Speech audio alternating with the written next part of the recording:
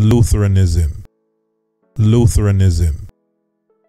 Definition Lutheranism is a major branch of Protestant Christianity which identifies with the theology of Martin Luther, 1483-1546, a German friar, ecclesiastical reformer and theologian.